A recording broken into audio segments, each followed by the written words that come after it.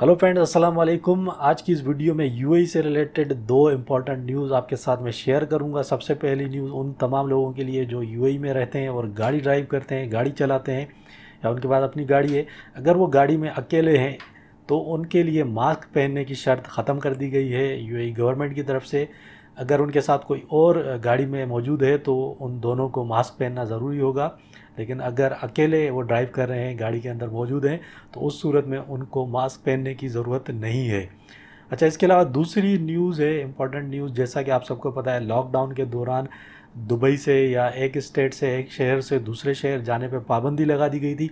अभी उस पाबंदी को ख़त्म कर दिया गया है। दिन के टाइम आप, जिस टाइम लॉकडाउन ओपन होता है उस टाइम आप किसी भी सिटी में जा सकते हो मूव कर सकते हो। अभी पाबंदी ख़त्म कर दी गई है यू गवर्नमेंट की तरफ़ से।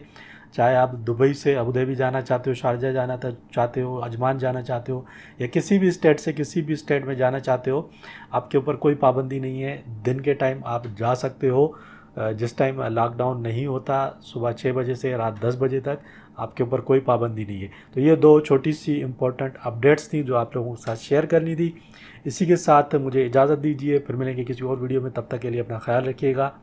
अल्लाह हाफिज़।